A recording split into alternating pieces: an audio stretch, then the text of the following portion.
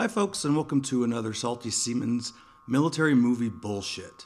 Today, by much popular request, I'm going to take a look at, for the first time, Battleship. Left hard rudder! Right, sir! Left hard rudder? Left hard rudder? Left? No, fuck this. I'm done. Fuck this.